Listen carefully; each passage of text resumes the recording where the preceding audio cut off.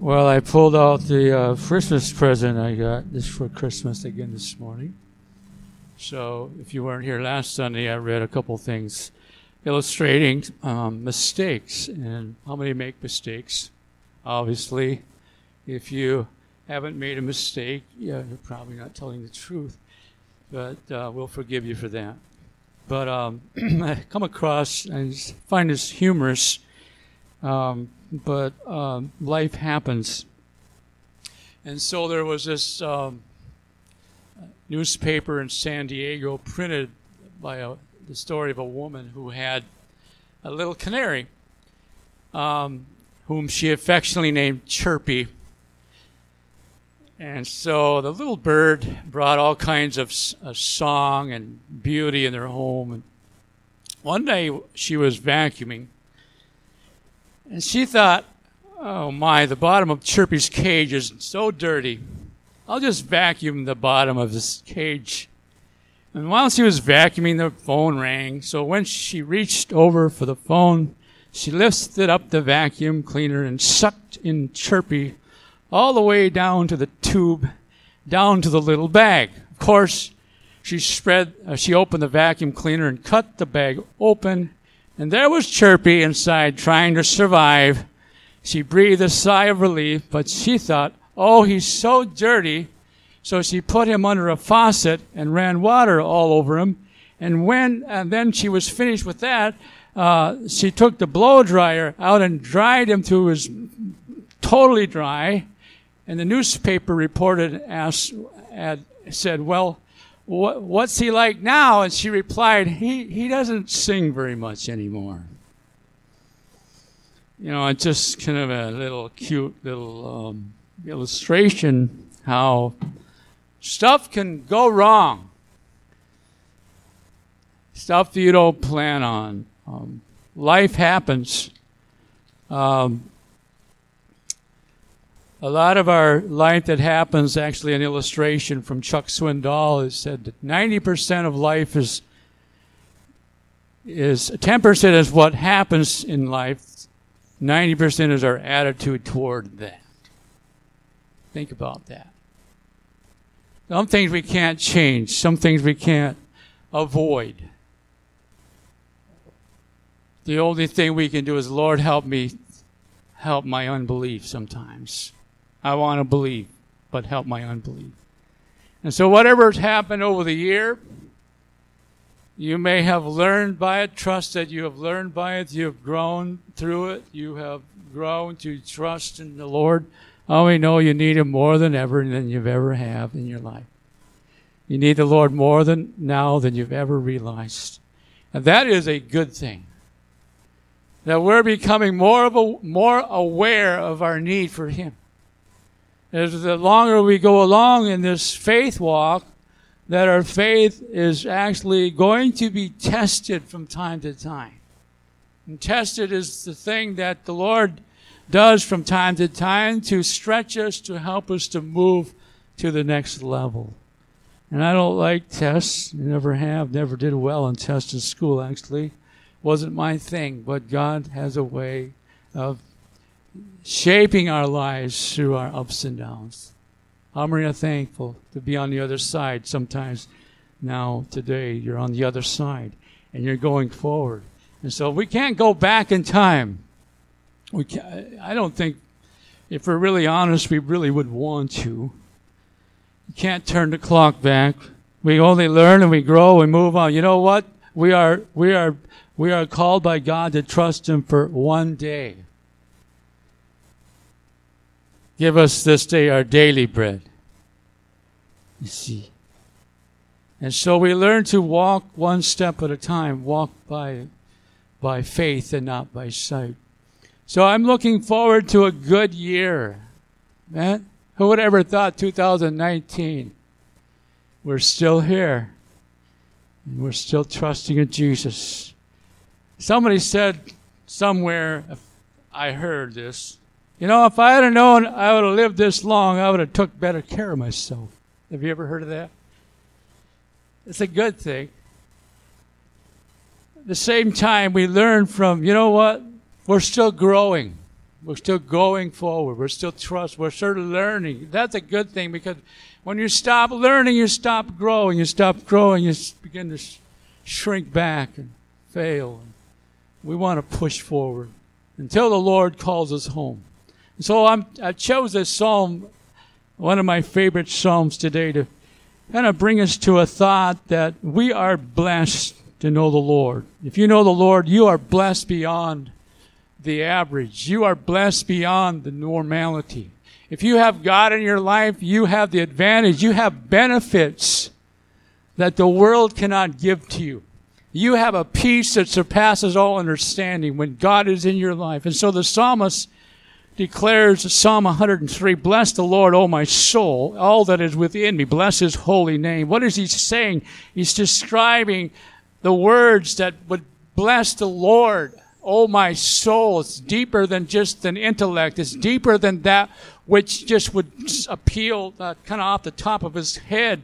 But it was coming from, from his inner man, his soul man. Bless the Lord, O my soul. Somewhere throughout the psalm, you will find it over and over. Bless the Lord, O my soul.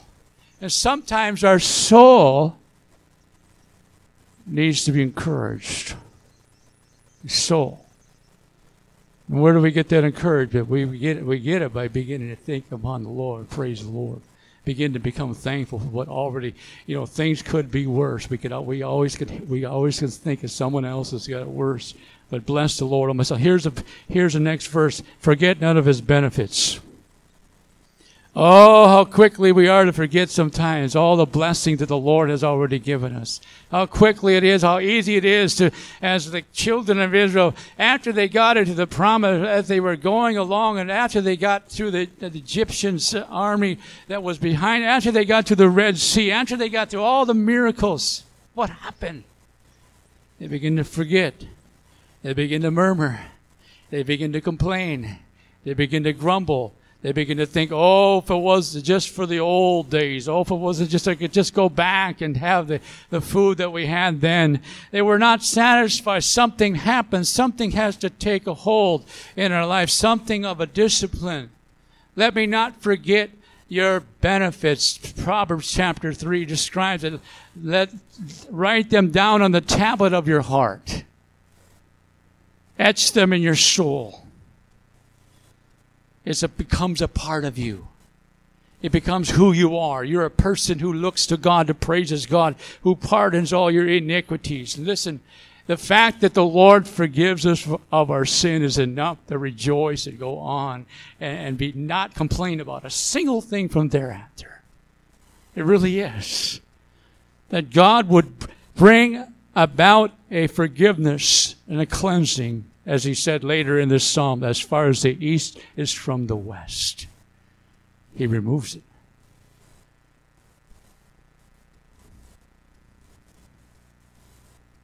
Who heals all your diseases. Stand upon his word when it comes. If you need healing in your body, stand on his word. Claim his word. God you are the healer. Begin to speak to your, even to your own body, even to the area. Begin to speak God's word. God has brought, uh, God brings uh, a blessing. God honors his word. I'm not saying that all diseases are always healed every time you pray, but I believe that there is potential and that there's nothing too difficult for the Lord. Let us be a praying people he heals all their He said he heals all their diseases. He redeems your life from the pit. That is another statement. That if he never did one more thing for you and I, the fact of the matter that he saved you, he called you, that you have a life eternal with him, that you have enough to rejoice in, that you have enough to be satisfied with. He says he satisfies your years with good things in verse 5. He satisfies your years with good things. Now you can fill in the blank. What are the good things? God lets us have a few things. Sometimes they're things. But I have a sense that perhaps the things that are the most satisfying have to do with your family, have to do with the relationship you have with your children, with grandchildren, etc., etc.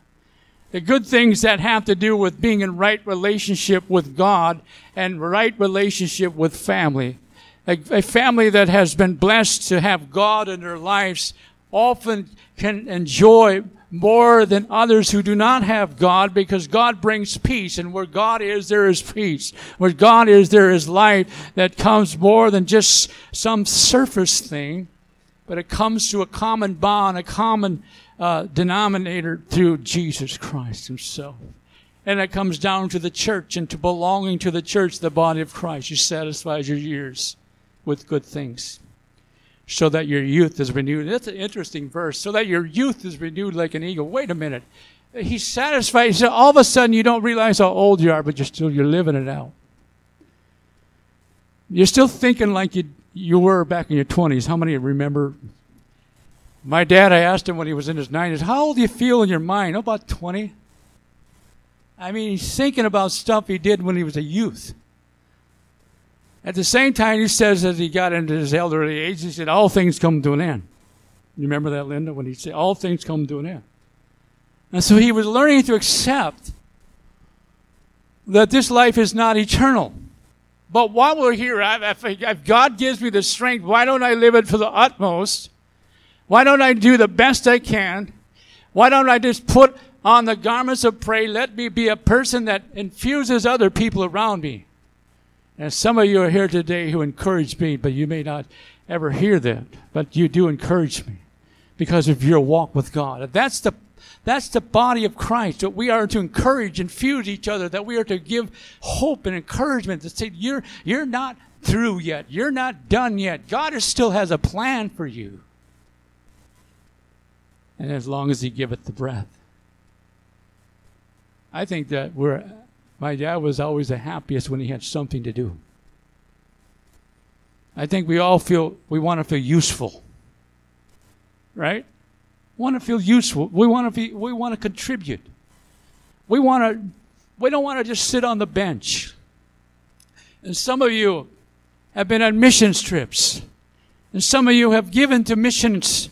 And some of you have given to, uh, to the places of need. And some of you have have prayed, and some of you have reached out and sent cards and etc. On and on and go. You open your homes. This all helps us to become the people of God that learn how to worship and walk together. Satisfies our years with good things. How many have learned that the smallest little things that are make you the happiest? A small little daily routine in life. How many still enjoy a cup of coffee? Right? How many enjoy the cookies? Yeah. There's so many. How many enjoy when you go to some place? Oh, there's a friend. There's somebody I know. And see, folks that come into a community, they don't know anybody. We got to love on them. I remember coming to this community back 20 some two years ago, going to the restaurant, carrying on. We looked around, we don't know anybody. It was a lonely stretch. We went to the ball game, we looked up, we don't know anybody yet. Yet. And now we feel we're, we're at home. We've been in the community this long. It didn't take that long. Pretty soon we started making connections. Carrie Goddard uh, was a preschool teacher at the community center where we started our services, and there she got to meet all the parents bringing the little children to the preschool. That was a blessing from the Lord. And so throughout the years, she has, Carrie has been a great uh, in the community person through the school and through her job and through her workplace. And myself, I've been able to work in the community. I've been able to I feel like I have a second congregation in the community. And so that when I go out and about in the community, now it's that, oh yeah, wave at so and so. Oh yeah, he comes, so and so comes over and talk to me. I Pull into the air up the tire this week in my trailer. And a, a carpenter comes up and, oh yeah, that's the guy who helped us on the roof. I begin to think, and sure he comes over, how are you doing today? And it's like this whole conversation we start from uh, just because we've had contact. Hey, I've got so much work, you know, and it's on and on and on. It's it says there's no turning back. And so he's not he's not quitting. He's giving he's going on. It's, God wants us to put forth an attitude of thankfulness that we are here. We are alive.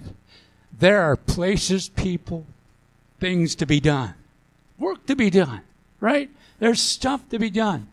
There's assignments. Someone is always in need. Someone may need encouragement from you this week. Some may see through your attitude. You see, the Lord is always looking for a heart in which He can feel, fill. His eyes are moving throughout the earth at all times. He's looking for a heart He can fill. And said, There's someone who has a heart for me. I'm going to sign, I'm going to make things happen. I'm going to put things together that He's going to be able to work towards this part of the kingdom. I see their hearts toward me. I see there's a faithful person. There's a person who has has has been faithful to their assignment. I'm going to give them more. I'm going to bless them more. They have given little. I'm going to give them much. That's how God is. God is a God of abundance.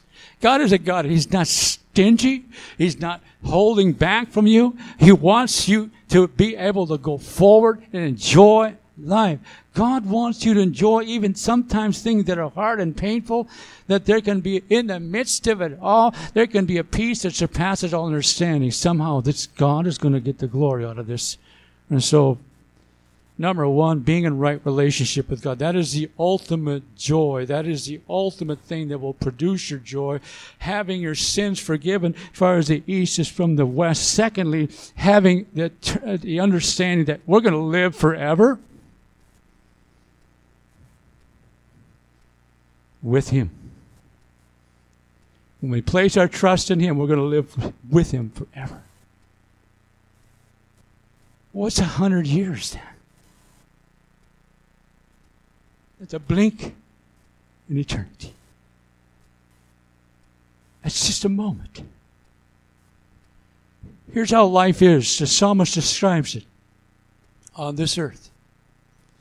Verse 14 He himself knows our frame. He's mindful that we are but dust. Wow. As for man, his days are like grass as a flower of the field, so he flourishes.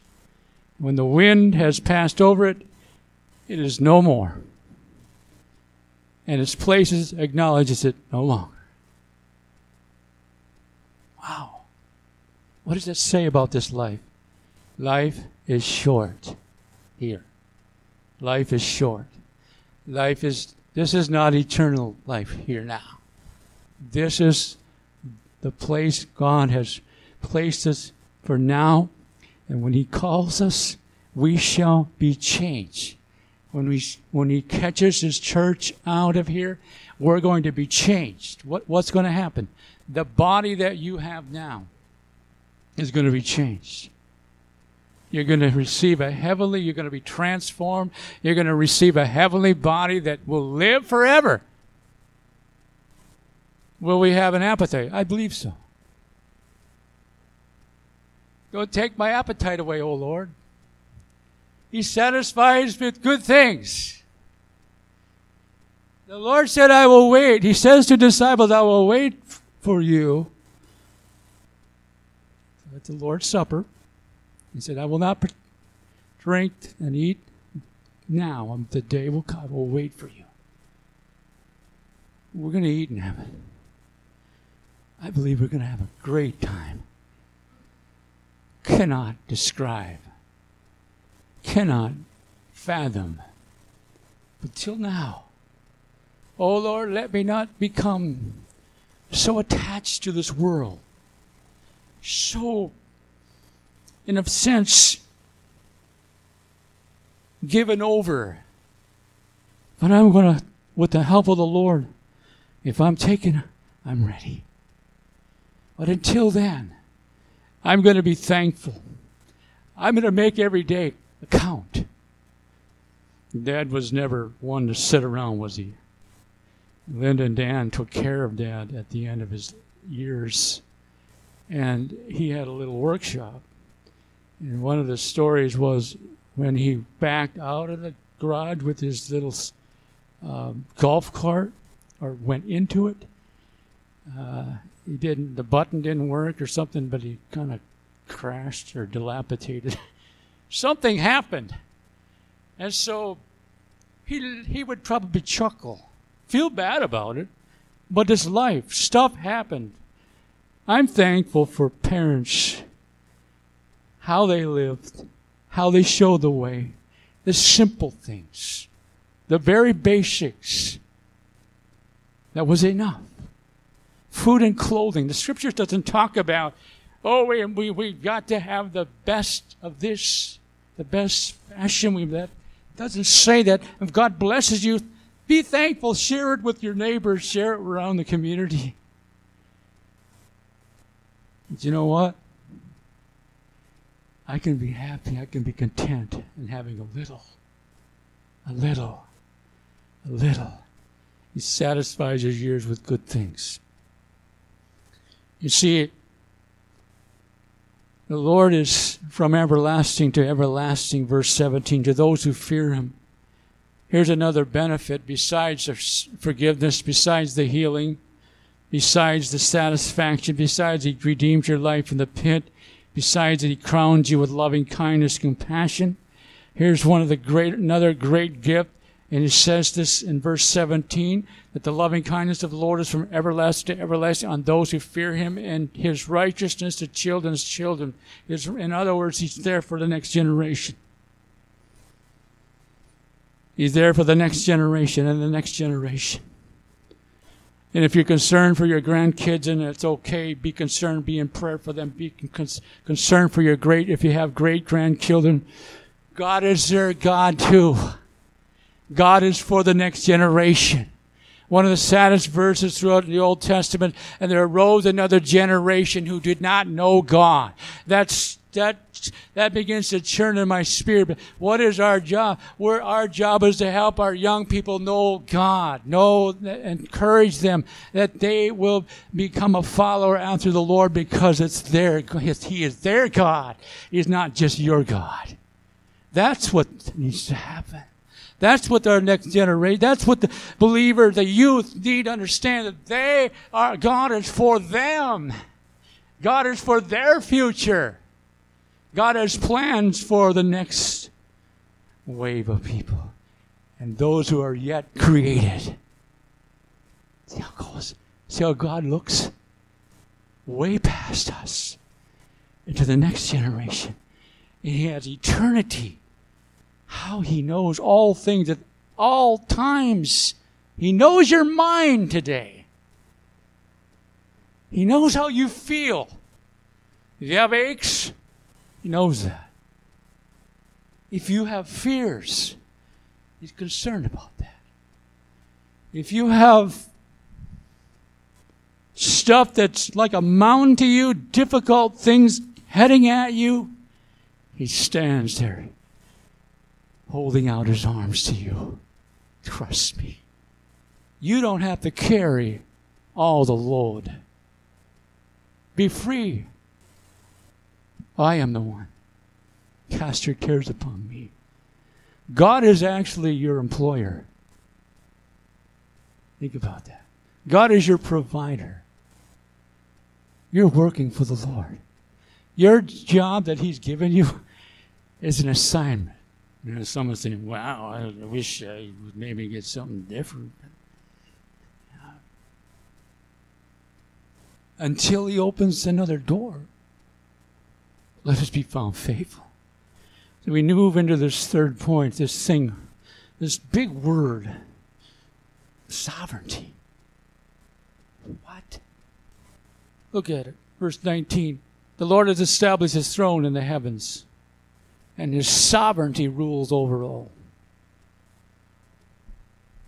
You mean when I don't understand what's going on, he does.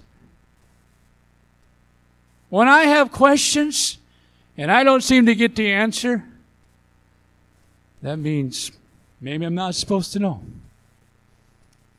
Did you know that Deuteronomy 29 29? You know what that says? I think you've heard it before. The secret things belong to God. He says this. But the things He has revealed to us belong to us. Wait a minute. There are some things that you will never understand until we reach eternity. There are some things that He doesn't want you to know right now. Rather, He wants you to trust Him anyway. And sometimes we wrestle. We can wrestle. It's okay to wrestle with God. You, you won't win. Yeah. What I mean, I'm thinking about a man in the Old Testament. Remember? Jacob, right? He deceived his father and mother. He deceived, well, actually, his mother was in on it. He deceived his father and he robbed the birthright from his brother Esau. Oh boy. Esau is coming. He's on another, he already has a large family. Esau, God blessed him. Jacob is fearful that Esau has a revengeful heart. And so he begins to make the preparations. He begins to hold his family in distance and he goes to prayer after God. And he wrestles, it says, through the night. And it was it says the angel of the Lord. Often when it says the angel of the Lord is actually a reference to pre-incarnation Christ. And you know the story. He said, I will not let you go until you bless me. What a determination. I will not let you go until you. What was it about the blessing? There's something about the blessing that we can give, fathers can give, grandfathers can give to their children and their grandchildren. You speak blessing on them. Speak positive, uplifting words, encouragement, blessing. There are a lot of young people have never really understood. I myself really couldn't understand it until several years ago it dawned on me. There is this thing called a blessing throughout Scripture, especially in the Old Testament. Why was it so important to have the blessing? Why was Jacob, why did he want it so bad? Because it meant that he would be blessed.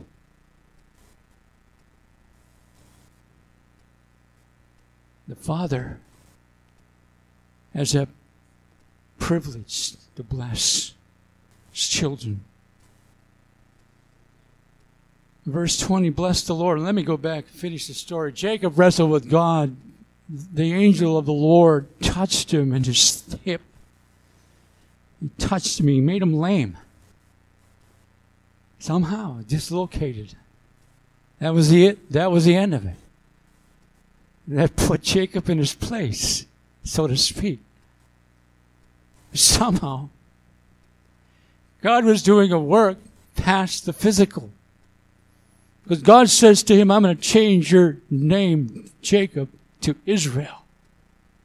Jacob's name was changed to Israel because Israel means he is striven with God. He is striven with God. tells me there's hope. That God can change your circumstances. He can change who you are. For people that are wrestling with stuff in their life, there is hope for, from addictions and all kinds of stuff that we can get involved with. There is a new day that can cometh called the help of the Lord. God is for you. God wants you to have life. God wants to give to you a blessing that will last into all eternity. And so the sovereign God that we that we worship who satisfies their years with good things, who renews our our strength like an eagle. That imagery right there, the renewing of his strength. Uh, I'm not an expert on this eagle thing, but this I understand that the eagle that at some point in its life will pluck feathers, and so they will grow back afresh and anew. Have you ever heard that? Oh boy. I'll have to look it up and make sure that I'm thinking right. But I believe that's the connotation. That there is a moment in our life, or sometime where we're stripped from everything that we had our trust in, everything that we somehow thought we had control of and thought we were going to, and thought it was going to be, by now we're going, it's going to be this way. And somehow we thought that when retirement came and whenever that phase would it, would it be like this? And sometimes it's, oh, now what do I do? I'm thinking out loud. Here's what it comes. I'm sensing it comes back to this. Bless the Lord, O oh my soul. Can I bless God as I did then? Can I bless Him now? If I have less than I have had when I started out, or if I have more than I've had when I started out, I will bless the Lord. As Paul described, I've learned the secret of being content. I've learned not to be anxious. I've learned this. In other words, that we're becoming seasoned. I love that word. Seasoned. Seasoned saints we have. Right? Seasoned. What is it you got to have to be seasoned? Well, it takes time. Some things just take time. Sometimes healing takes time. Sometimes healing will not come until we find the rest. Receive the rest. Right? The healings. There are many. There's several that God heals. He can get, He can heal instantaneously, moment, just raise someone up from the dead. And other times he chooses to associate other people, the body of Christ, to nurture, to assist, to bring encouragement. Sometimes he uses doctors, oftentimes he's for thankful. Wow, you break a bone, they can help you fix, get that in place. God is good. God has blessed us. Look what we have. Look what God has done. And so, do we have reason to bless the Lord? Yes, bless the Lord. All you his hosts, you who serve him doing his will. Bless the Lord, all you who, who work his works of his. Bless the Lord, all you works of his in all places of his dominion. Bless the Lord, O oh my soul.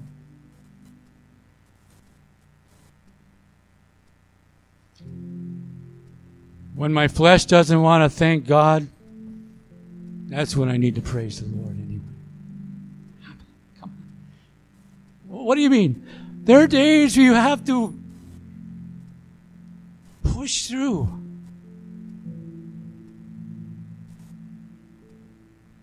There will be days you don't feel like praising God. God doesn't send you out. God doesn't send you away. He just gives you the time you need. He just gives you gives the space you need. When I want to have a little pity party, probably just smiles oh, We'll wait, give you the time. You'll be back. You'll come to me. Isn't God good?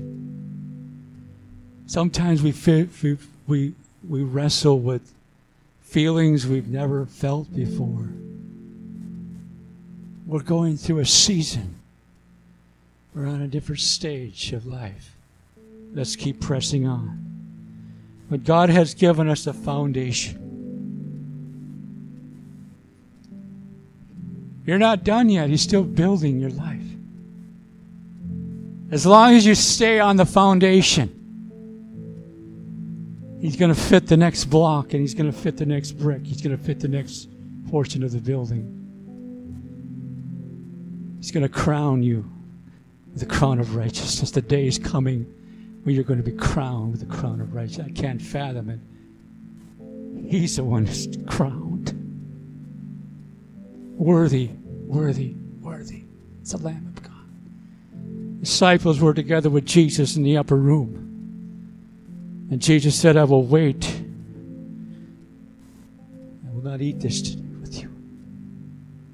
He's waiting, patient. We're going to have uh, uh, the communion. Um, we, we slip into this thought. Jesus said, Do this in remembrance of me. Cal, would you come? Joel, could you come and help pass out the elements? We invite you to take these moments and just begin to think Jesus died for me. Jesus died, shed his blood. Go ahead and begin to distribute them as, as you will.